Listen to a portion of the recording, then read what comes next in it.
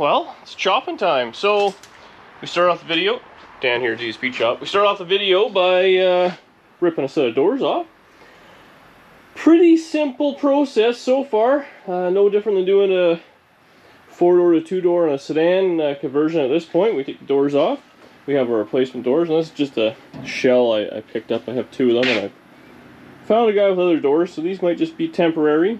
This is some kind of fairly thick uh, plate that I've been having for a while. I'm gonna use this a little bit of structure. Anyways, this is all kind of new to me, and I haven't seen anybody do it on the internet yet, so it's kind of really new to me. Well, I've seen it, but I haven't seen anybody like a how-to.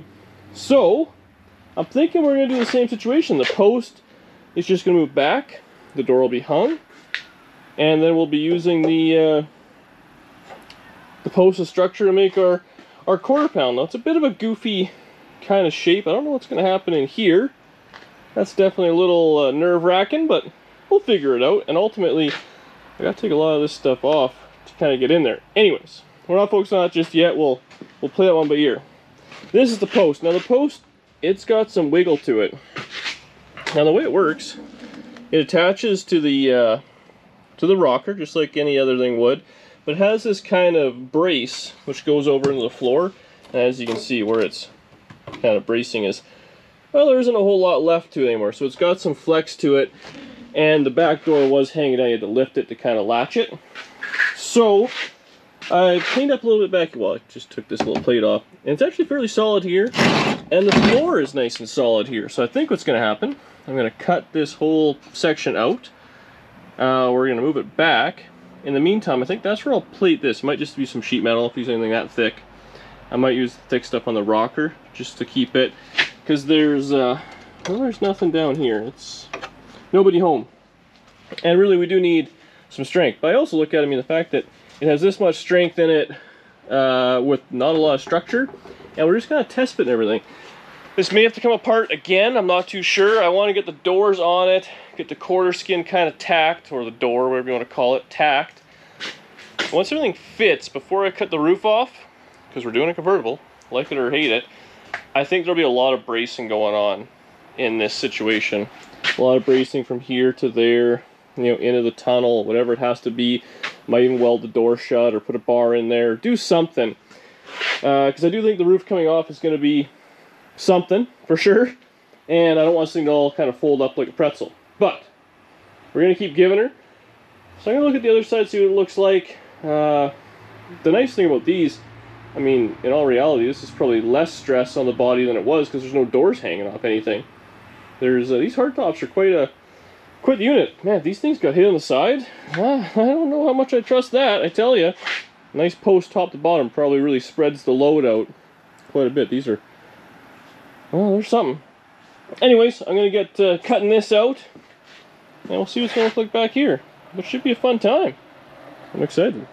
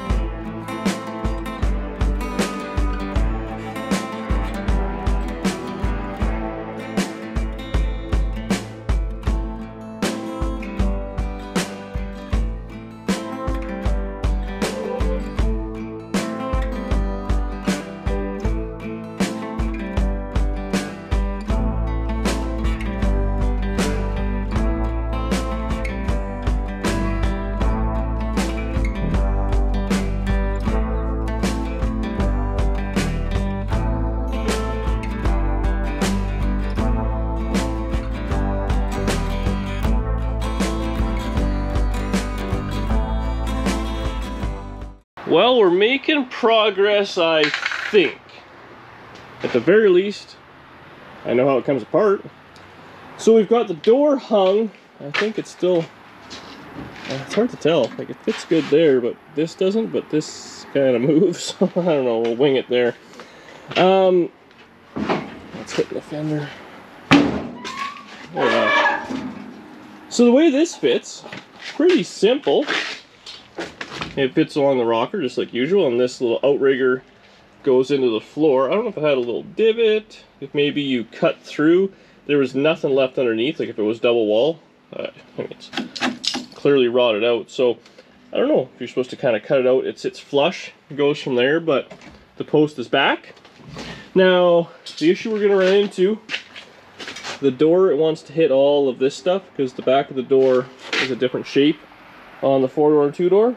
So, I think this section here might have to go. And then we'll fill it in or do whatever down the road, but that's that's that. This is a pretty, pretty uh, hefty piece of goods. So now what I'm thinking, I'm gonna run some of that thick steel under and under, weld that. I'm then gonna get just some thin, I think I got 18 gauge or 19 gauge or something like that. I'm just gonna literally put a piece over it and weld it in just as an ugly patch, but then it'll have its strength back because this is literally all that that's in the rocker. There's nothing there, it's all rotted away. So I think that's the plan. That way we'll have lots of strength across there. That'll all be good. This line will stay the same. I might even weld something uh, front to back on the side. Just uh, to keep the shape as much as we possibly can while we're getting everything set up. But yeah, that's where we're going. Anyways, it's getting dark. I'm tired. The GoPro battery's dead. All my batteries are dead in the grinders, so I think it's time to call it. I actually just finished the last video, which hopefully you've already watched. If you haven't, go back and watch it. Do me a favor. Gentle. But uh, we'll be back at it tomorrow. I'm thinking tomorrow, I'll get all that welded in, get strengthened up. We'll mount the post. I think I have a latch and stuff. It'd be nice to get a latch on there so we can latch it to the door. Worst case, I'm sure I could take it off that one. Latch it, have that going, and then I'd like to just kind of get the, the quarter piece tacked in. I think I would add a lot more strength to it. But, I don't know, we're getting somewhere. I mean, it's, uh, we're on our way to a two-door hardtop, other than it has an ugly roof. It's too bad that the four doors and two doors didn't share the same roof line, like the sedans do. Because then you can make hardtops. That door sure is a lot longer. It's got a kind of a different shape to it. The hardtops are very different than the sedans. So, it's funny. Mer stopped by. And it's funny because I told him it felt like the first time I chopped up my 55, I really didn't know what I was doing. I'd done some research. I bought the cars. I bought the panels or whatever I thought I was going to need. And I started cutting. I was very nervous, but, you know, turned out okay, I guess. And now I'm on my third sedan for myself now, doing this Black Widow. So it takes me back to a couple years ago when this is all brand new, which is exciting. Doing the same thing over and over again, putting in floors, putting on quarters, doing all those things. I mean, replacing a floor, a quarter panel, or fender, or doing a motor swap, doesn't matter. Ford, Chevy, Dodge, same principles. Chopping doors out, making them into hard tops, convertibles, all that, that's, that's unique. I enjoy it. It's new. Anyways, that's it for me tonight. I will see you guys tomorrow. It's the next day gorgeous day. God, is that a nice car. So let's work on this piece of junk. So, uh, I gave this a quick coat of primers because it was a bare metal. Now, the post is turning out to be quite a lot more work than I had originally anticipated. Sorry, my life. Um, let's see if I can take this apart. Ugh, uh, I'll be right back. While I get the door open. So here, is why it's difficult. On a four door, the door latches down there. On a two door, the door latches up here. Like every other two door. The four door is weird. The back door seems normal. But the front door, way down there. Anyways, um, I welded in a plate there and I put a little piece of angle just so it's got some, I mean, hey, it ain't perfect, but uh, it's good enough for what we're doing here. Uh, the post, a little, a little flimsy, a little flimsy side. So, what we're working on next, or now, or we're going to call it, so this is the little kind of brace piece, which would have been in that big hole. So, obviously these things rot out and that's what causes the post to really go. It also only has kind of two ugly tack welds on all materials going to come out. This came off real easy, it just had a few little uh, welds on it. So what I'm going to do is just kind of put it back on uh, kind of temporarily, like you can see it's not, it's meant to fit a different contour. So this will obviously have to be modified when it goes in permanently into the proper floor. I don't know if it's supposed to sink down in it or what. Like it looks like there's a brace there. I don't know. We'll figure it out. Anyways, on the back side, it's flat enough that I can get some good welds on it and I'll weld it back to the post. So what I was gonna do, trying to figure out where this post wants to be in the grand scheme of things is the problem. I might also run a brace just over there just to hold that from twisting, but uh, eh, it'll be fine. So what I've done, you close the door and you latch it. This is kind of a... Yeah, that's not bad, let's be honest, that's pretty good. So what I'm actually doing is I just kind of pushed the post in so the door was about flush with the rocker. So it looks about right. I'm trying to think that looks about right. Um, the door gap, the way the door fits is very strange. This can all be adjusted. It's okay at the top, right? I don't know what we're doing at the top here yet. That'll be a whole other situation. So the thing we're gonna do is just kind of hold the door where I want it, give it a few tacks to the posts to the floor. That'll then hold it, and it'll kind of carry on. Today, oh, I'm already dirty. Today, I did spend $1,200 on sheet metal, which is a lot, but what are you gonna do? I mean, at the end of the day, it's worth 1000 bucks in the car, 1200 bucks in sheet metal. For convertible kind of sheet metal, uh, almost everything I need, I think. So what I did, and I mean, this could all be made, but I thought, eh, I want it done a little bit more proper. Rockers both sides. I got the lower, uh, the lower section of the quarter panel, so the back section and the front section. I then got the proper, this is now this is where the convertible stuff comes in. They sell a convertible piece that joins, I don't know, it's like the upper quarter that goes up on both sides and the trunk pan, which is quite a bit bigger once the glass is out. Because then the rest of this all just goes away. There's nothing there. There's no package tray. So one, two, three, four, five, six, seven pieces of steel for 1200 and some bucks ish. So that's not bad. Uh, I do a floor for it. I got a scratch and dent floor. So that's pretty sweet. That was 800 bucks. So what's that? 1,222. So 3,000 bucks. We'll have most of the metal work kind of taken care of. I do have a fender, I think. I have a spare fender, I have a spare hood. I might have to buy one other fender. That'll get it to be looking like a convertible as a roller. And then I have a bunch of, you know, disc brake stuff and all that, rebuild the front end. But it'll be kind of no rust and rough. Now, I realize it's just a four-door chopped into a convertible. At that point, it'll just be a, it'll be a roadster. It's not a real convertible. But uh, I'm thinking for five grand, if you can do a little bit of hunting stuff like that, you might go find the convertible top pieces and all that. And you have yourself a kind of skeleton of a convertible that's somewhat rust-free, new floors, new rockers, new all that stuff. Um, the guy I've been talking to a lot that has a convertible locally, he paid 7500 bucks for a convertible that was just an absolute basket case and needed literally one of everything. So, I don't know. Whether it's a smart financial decision, I'm not quite there yet. But, when the roof's off and I'm cruising on the road, I don't think it'll matter.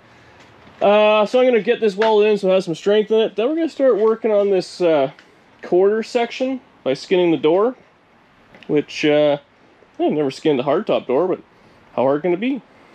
I've jumped ahead. That's the inner structure of the door. I've chopped it all apart. You ready for it? But bam, that's what it looks like. So it's too long. Uh, obviously, I got to trim it around the post, but it makes me feel better. I was worried because this section here before the V is very short on a hardtop convertible and I didn't know how it was going to turn out, but obviously looks not bad. So, that's cool. My next step, what I'm going to do, gentle door, gentle. I'm going to, uh, I'm to cut this piece up and just have it kind of follow the contour of the door. Obviously it's a bit of a different shape or whatever the deal is. So cut that, make it fit the door a little better, bring it back there, forward there. Just be able to hammer it actually, because it does stick out a little bit past. Uh, get that close, because that's what I want to ultimately butt this up to. And then I can put a couple of tack welds on the backside, and I can kind of zip this in and just literally ugly, ugly tack it. This is all just to be tacked together, because if it all come apart, so be it. I just want to make sure it's all to fit. before I take the roof off, I can brace the hell out of, like take the back seat out and brace it kind of front to back and everything.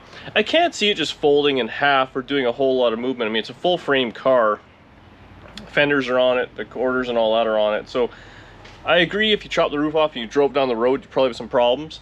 But sitting in the garage, I'm not overly concerned about it. So at least that's my plan, that's my thoughts. Uh, it's probably all wrong, but we'll see. Uh, I mean, really, this this side and that side done pretty quick, and I'll be able to take the roof off. I bet I'll be ready to go, and I won't have parts yet, which can be a pain, so it's going to be a bit of a ratty looking uh, four-door, two-door door roof with no parts. But what are you going to do? That's what it is. So I'll, uh, yeah, I'll start trimming a little bit and kind of hammering and dolling this over. Should go pretty good. And then, uh, yeah, before you know it, there'll be a hard top on one side with the ugly roof line.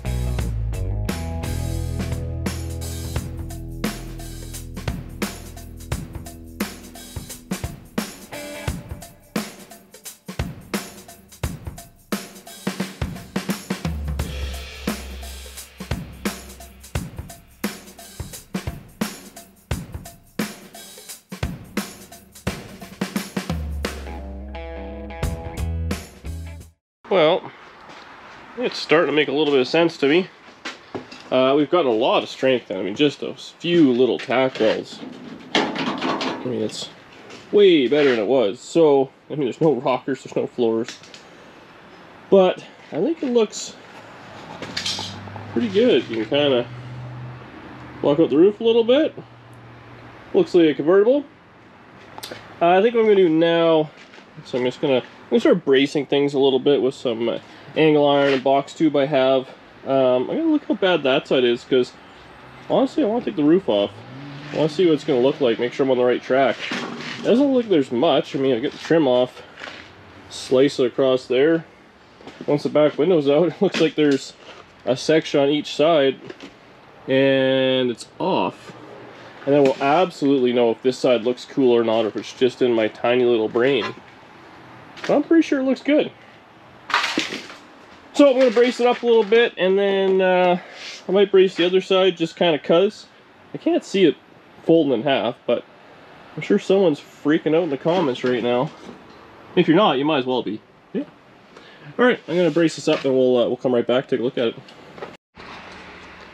Well, I'll show you my ingenious bracing right away, but uh, I took the doors off this side.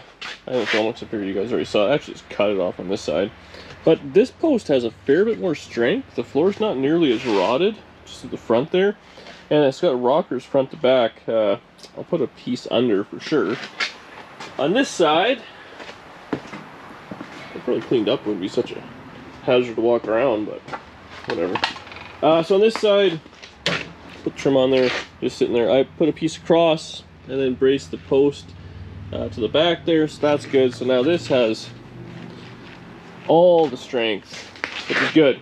So I think what I might do is hang the other door I have, put the post in, just kind of tack it, and then tack the post to the, the back wheel well like I did on this side, and maybe just down there so it has all the strength. At the end of the day, the doors can open and close. There's, there's no strength there whatsoever. And uh, start cutting the roof off because I really want to see what it's going to look like. Um, I know myself and I won't be able to sleep if I don't do that. Because right now it looks horrible. Looks like a four door that I put two doors on. I need to see what the roof's going to look like, so I got to take all the trim off and stuff. So then I'm going to hang the door, move the post back, weld in some bracing, start peeling all the trim off because apparently this isn't, they don't repop this, so good used. And the roof, you can't get a four-door hardtop roof skin, so I'm going to try and get it off as much as I can, obviously under behind there. Back glass, I'm, I'm sure they must remake this, but again, if I can get the glass out in one piece, all that stuff, the stainless, the roof, and the back glass could probably be sold and make a few bucks. So, I don't know. I uh, paid a grand for the car. I just said, or 1200 bucks for the sheet metal convertible wise. I can make three, four, five hundred bucks back. Kind of offsets the cost. And I have no use for it. I will never use this. I think it's so friggin' ugly. Uh, yeah, I mean, I'll chop it off and all. If it all goes to hell, we'll need it to turn it into an El Camino or whatever we're going to do there. Stretch it into a limo. I mean, hey, it is what it is. That's the way my brain's working. So, I'm going to do that. Move the post back, hang the door, little bit of welding. I'm not going to skin the back door. I'll do that tomorrow or on the next video type thing. And uh, roof off. Roof off probably next video. You'll get to see all everything right up to it. Maybe I'll give you a little teaser, a little bzz, bzz, and then we'll uh, shut it for the next one.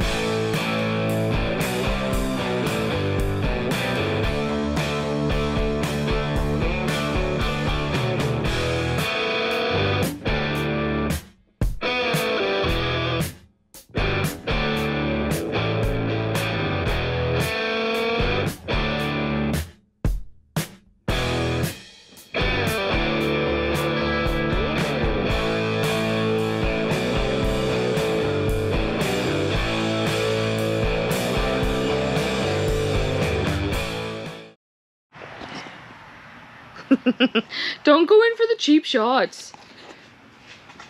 Okay, so did a lot of laps in there, but uh, I got all the trim off. I got the outer. This was a pain to take off this stuff, but hopefully it'll net me dollars. Uh, so that's all off, ready to go. I uh, I'll walk in this so I can start pointing through, but I took the doors off. I took the post out. I put a piece of angle iron across the rockers for some support, and then I just welded some kind of miscellaneous things in here. I don't think it's gonna collapse, but this is just good to do, I guess.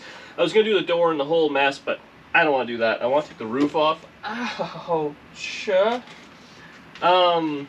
You okay? Oh yeah, it's just a little tetanus. I got the back glass out.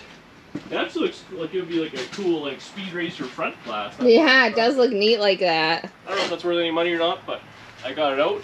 So that's a win. So he's saying if anyone needs back glass and they're local, Yeah. And you want to pay up. if you'd like to pay a thousand dollars for it in case this all goes sideways. So we got quarter piece on. Uh, so I'm gonna do the bottom anyways. Got rockers and all that stuff coming, but I want to see what this thing's gonna look like as a convertible. So that's where we're leaving this video. But I'm not gonna lie, the next video is immediately starting right now. Now we're cutting the roof off. Uh, see you in the next video. You're gonna want to see it.